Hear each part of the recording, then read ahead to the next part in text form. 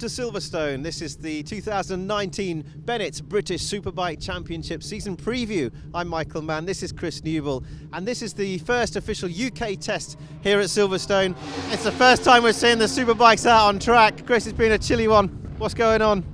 Well, I say it's chilly. It's starting to warm up on track now. It was slightly damp this morning, but it's the sun starting or trying to come out, so the riders are heading out on track and yeah, it's just it's good to be back. It's good to see the new teams, the new levers, the new bikes, all in a you know lovely new livery. So yeah. So we've got a load of new guys coming up from um, from the support classes. We've also got some guys coming in to the superbike paddock, uh, and there's some really hot names as well.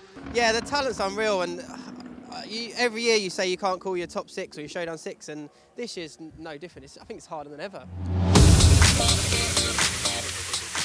All right, let's start at the start then. We've got the championship winning team from 2018. Okay, they've lost Leon Haslam, he's gone to World Superbikes, but the Quattro Plant JG Speedfit Kawasaki team have got two new riders. They have, yeah, and just as strong as last year, really. We've got uh, Glenn Irwin, obviously he was with uh, BY's Ducati last year. He was on a V-twin and he's now obviously on the four-cylinder ZX-10R. It's a big step for him. It's a different bike, but in pre-season testing he's showing no difference um, in terms of the times. He's, he's been quick, he's been uh, up on the timesheets, and he's made no qualms about it. He thinks he's the number one rider in that team this year. There's a lot of pressure on his shoulders, probably to you know claim that title and claim his first BSB um, crown. So it'll be really interesting to see how he gets on. And in the other corner, we've got Ben Currie, and he was the super. He finished second in the Super Sport Championship last year.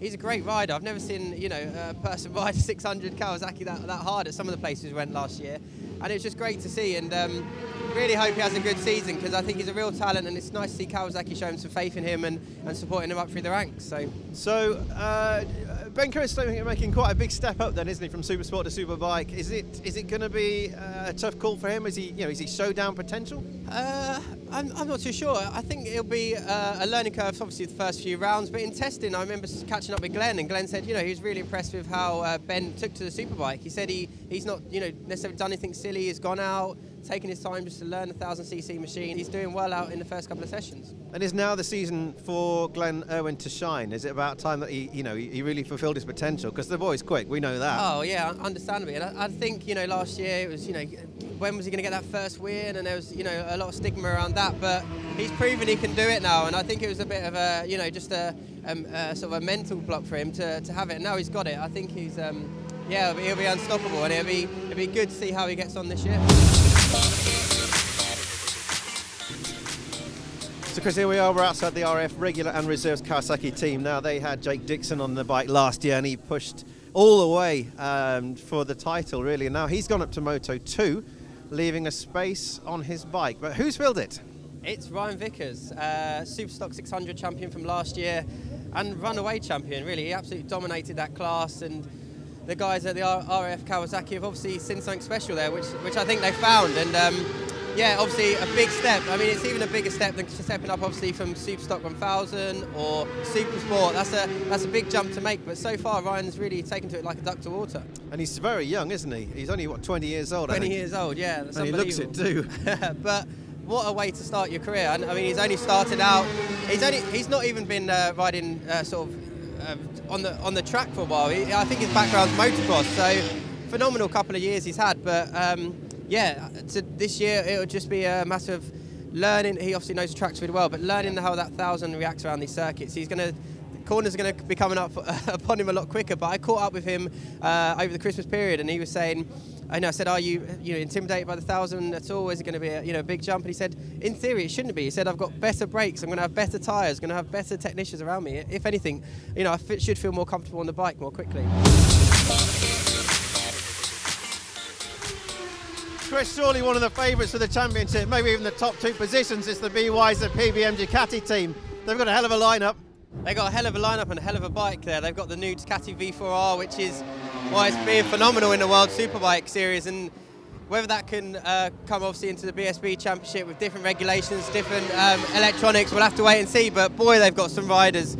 Josh Brookes, obviously last year, he done great stuff on that R, uh, McAMS R1, and he's just he's been a formidable character in the championship for many a year now, and he's he's gonna he knows how to put a championship together obviously winning it back in 2015 on the on the Yamaha, and um, yeah, he'll he'll want to uh, set the record straight this year and go out for the title. Got a, a lot of experience on the circuits, uh, and also as a as a professional, he's been at World Superbikes as well. He's got that kind of that that, that temperament and the talent clearly. And yeah, there's no hiding from uh, his teammate on the other side of the pit box, Scott Redding. You know, uh, in MotoGP last year, coming into his paddock with a, a, lot of pressure on his shoulders, and he's admitted that. He said, you know, uh, if I don't win this year, there there'll be a lot of um, you know unanswered, unanswered questions and but in pre-season testing, he was fantastic. He set some quick times.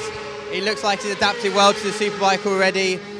And you know, come first round, there's a lot of talk of him saying, "Oh, wait to the circuits he doesn't know." Well, he knows a couple of the few circuits that we're going to uh, in the early rounds. So, yeah, expect him to be. Uh, I'd, I'd, expect him to be on the podium. You say that, but actually, at Monte Blanco, a circuit he's never been to before. Portimao, a circuit he's never been to before, and he's top of the timesheets in both of those tests. Exactly, and, and this is it. I spoke to him the other day about about exactly that about going to these circuits he doesn't know, will he struggle? And he said, no, he thrives off that. He loves going to new circuits that he's not been to before and learning the, the circuits. And, you know, there'll be a few this year that he obviously don't know, doesn't know, but he'll go there and do the odd track day. So don't be surprised if you're on a, you know, a track day this year and you get Scott Redding blast around the outside or inside of you. So.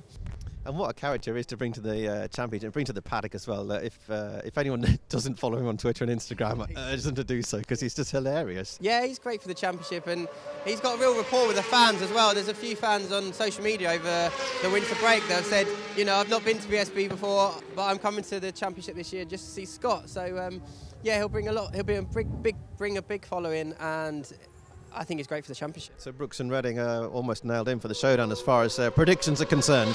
Oh, I, I, don't know about that. Last year I predicted the top six and I was miles off, and this year the depth of talent's just un unreal. And um, yeah, I wouldn't want to call it. Uh, next up is FS3 Racing. They're running the Kawasaki ZX10 uh, as they did last year. They've got Danny Buchan on board once again. He showed some good promise, didn't he, last year? He did, yeah. It was um, it was a shame not to see him just make that showdown. He was so close. Actually, here at Silverstone, he just missed out. But you know what a what a season he had. I, I don't think he, will obviously be disappointed he missed out on the showdown. But what a season to build on for this year. And they've done a lot of development to the bike over the pre-season testing and he was he was steady. You know, he, he didn't go out and uh, set the timesheets alight, but they worked through a lot of stuff. They got a, a, lot more new parts this year. K-Tech have up their um, commitment to the team, and he's he's just feeling really good with the bike and the team around him. And we obviously we done, we done a gadget, garage tour with him the other day, and he just feels so comfortable there. And so expect big things from Danny this year. Again, another great character to have in, the, in and around the paddock. He's uh, he's always chatty, he's always up for a laugh, and he's uh, he's uh, he's a good guy. So one of the good guys to have here.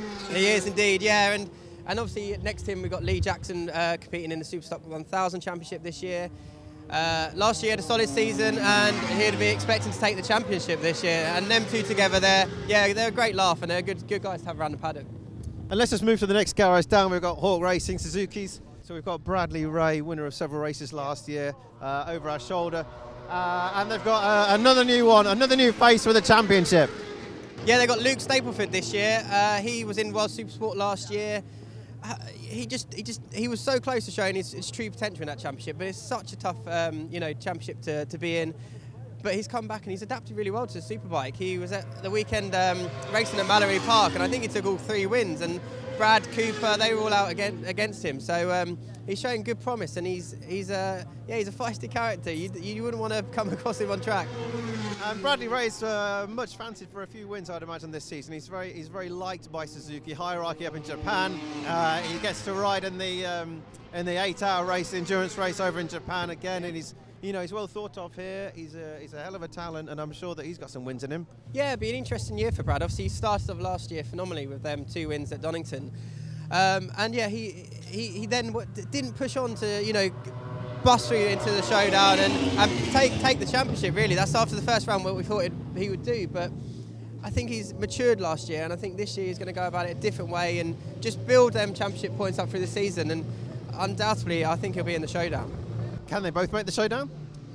It'd be a big ask for Luke to make the, the showdown in his first year, but he, the bike's capable. Uh, he's capable. He knows the tracks, obviously, from a few years ago in super, British Supersport. He was phenomenal. You know, he took the title and, and was a real force to be reckoned with. So he knows the circuits. It would just be a matter of adapting to that superbike. But um, from the first few glimpses we've had of him on track, he, he looks like he's, he's doing that. Chris, we're outside the McAMS Yamaha garage. Now, the Yamaha R1's several years old, but they've had a lot of development time over the last few years, and boy, have they got a rider lineup this year. Yeah, they have. They've got Tarran Mackenzie from last year, who showed, you know, great promise here actually at Silverstone. Got his first podium and phenomenal season that he did have. So, um, yeah, he'll be expecting to build on that this year. And Jason O'Halloran alongside him. Yeah, Jason's. Uh, I, I, think he's a dark horse this season. You know, he had um, a tough year on Honda last year, injuries and, and, and the like. And but this year in pre-season, a lot of people have been, you know, really uh, surprised by his pace. Um, and in uh, Portimao, he went he went fastest as well. So yeah, expect good things from Jason this year. I would definitely have these two in my, mind you. My showdown's going to have 12 people in it, I think, at this rate. How big's that going to be? And we can't forget, obviously, Matt Truelove as well is on almost like the satellite team for the CAMS Yamaha with Raceways Yamaha. Um, and yeah, he, he's stepping up from Superstock last season. And yeah, great guy. We were talking to him earlier this morning, and he's just going to try and you know get up to pace with the Superbike guys and, and just learn his trade this year. So in the WD-40 Kawasaki team, we've got uh, another man with some World Championship experience. Yeah, we've got Claudio Corti. He was actually in Moto 2 a few years ago. He rode for the team in Superstock form, Superstock 1000 form last year. Uh, and yeah, showed some real promise in that class. It's obviously a step up into the Superbike class, but he's, um, yeah, considering some of the guys that are coming in from World Championships, he, he knows most of the circuits now. So yeah, he'll expect to hit the ground running this season. And he's on a he's on a ZX, you know, he's on a Kawasaki that um, well clearly which is a championship bike from last year, but it's you know it's got the ability. Yeah, that's it. Uh, up and down the paddock, there's a, there's obviously different variants of the ZX10R, and it's um, different swing arms, different suspension setup. So if you can find a setup that he's happy with and, and works well well around some of these tight and twistier circuits, then he should have a good season. All right, and in the very next garage, let's move across. We've got Honda Racing again with uh, with two new faces for this year. Um, out have gone Jason O'Halloran and Dan Linfoot. In have come Xavi Forés and Andrew Irwin. They have, yeah, and it's it's a, it's yeah, a real real shake up for Honda this year. Obviously, last year it was a testing year with both Dan and Jason getting injured. They have obviously uh, parted ways now, and obviously Andrew and uh, Forés have come in, and it's. Um, Andrew, I think this year, obviously, he's going to have a lot of competition from his brother, but yeah, he's going to just expect to, to learn the bike, um, and it, would be his first full season in BSB, let's not forget that. Yeah, no, it's an important point, and also learning how to set up a bike. And I think that someone like Xavi Forés will, will help him to do that. That's it, yeah. Um, Forés obviously was on a Ducati for a few years. Um, he's gone from the V-twin now to the four-cylinder Honda, and that was, I think, when he first come over and started riding the bike, one of his first worries whether he'd get to know the bike as well as he has, but he seems to adapt to it really well. And they've both been running well in pre-season. Um, both at Monte Blanco, Portimao, they've, uh, they've put in some strong performances. Yeah, they have, and Honda Honda know how to set a bike up. they have been a, a force to be reckoned with in the championship for many a year, and I think they, they're out to prove a point this year. They want to actually prove the potential of that Fireblade. Um, they know it's there, they've just got to go out on track and prove it. And of course, they've got uh, young Tom Neave, uh, who's known to Honda, and he lives around the corner from the uh, from headquarters. And he and he turned out for the Super Bike team last year on a couple of occasions, and uh, and they're running him on a on an SP2 in Super Stock this That's year. That's right. Yeah, Thruxton last year he uh, rode the, the, full spec Superbike, and the team, um, being a local lad, and they've spotted, spotted, something in him, and he's running in the Super Sport 1000 class this year. It'll be uh, it'll be a tough challenge because it's. Um, you know that championship's dominated by the, by the BMWs and Suzuki's and Kawasaki's. They've, they've been tried and tested there for a few years, and it's not um, been since Jason O'Halloran run the Honda in Superstock 1000 a few years back that a, a, full factory Honda like this one's going in there um, to challenge for the title. So it'd be interesting to see how he gets on. Right, we're here with the Yamahas of the Tag Racing team, and they've got uh, a new face with uh, Dan Linfoot this year, straight over from Honda. How do you think he's going to fare? I think he'll do great. I think it's um, obviously last year was just a season to forget for Dan after many injuries. Just um, I think pleased at the end of the season. So fresh start this year with uh, Tag Racing. They've got a new title sponsor on board this year, Santander Salt. So they, they, they mean business, and I think he will enjoy. Uh, sort of the family environment that Tag Racing offer. Look, Dan's got the pace, he's got the, the, the track knowledge as well. Uh, it's, it's either look we've seen well we've seen these guys perform certainly with um, Josh Brookes at the at the helm a couple of seasons ago. So you know there's there's no question about their bike's ability. That's it. Yeah, exactly. And they've, they've improved the bike a lot over the uh, pre-season. They've got Öhlins on board. But Dan's running Öhlins this year, and um, yeah, it should be good to see. And and Sean in the other side of the garage, he was he had some steady results last year, and he, he improved throughout the season. And yeah, really impressed me towards the, the end of the season as to in terms of his times and his positions. And um, yeah, he'll, ex- he'll, be expecting to build on uh, build on last year uh, again. We had James Ellison on the on the tag bike last year, and he's and he's moved to Smith's Motor uh, Racing alongside Peter Hickman, and they're of course running the BMWs now. Both that team and the uh, Tyco, the main BMW team, have not got their bikes ready in time for this test. Uh, and it doesn't look like they're going to get their, their bikes ready for the first, the, the season opener back here at Silverstone. But we've just got to talk about those guys really. So uh, Christian Iddon um, and Keith Farmer on the Tyco bikes. It, it, it's like throwing something up in the air and not being able to catch it at the moment. We just don't know how they're going to fare on those new machines. Yeah, that's it. I mean, uh, obviously Keith Farmer last year he won the Super Supersport Championship uh, two years ago, Super Superstock 1000 Championship last year. So the talent's unquestionable. The talent's there. Uh, and I think it's the best time for him to step up into superbike class. Obviously, uh, last last time he did attempt a superbike class, he, he said he just wasn't mentally ready. He said, he said he's a different person now, a different rider, and and I think stepping up this year, obviously with a bike, uh, not necessarily uh, at its full development yet, I think it's a great opportunity for him to make that step into the team, into the superbike team. And from the conversations we've had with him, he said that the bike actually feels like a like a 600. Um, and obviously we know how well he goes on one of them, so it could be a, yeah, good stepping stone for him. I guess it all depends on how they, they transform that road bike into a into a super bike. It's uh, it makes such a difference when you're taking taking well what is essentially a road bike and, and, and creating a super bike out of it. But I, have been lucky enough to ride that the the road going bike already, both in the wet and the dry, and it is an absolute sensation. The way it turns, uh, the way the electronics work, and I know it's they've got had to go run Motec here, but if they can get that thing hooked up, it might just be a season of development for them, I think, this year. Yeah, it'd be interesting to see. Obviously, the likes of Ellison, Iddon, uh, Hickman, Farmer, they're, they're all going to be out on the, the bikes at some point. I don't know if they will share information, they might do, but would be in their interest to get the bike up to speed as quick as possible. But like you say, from the initial um, thoughts on just the, the bog standard bike, it's some machine.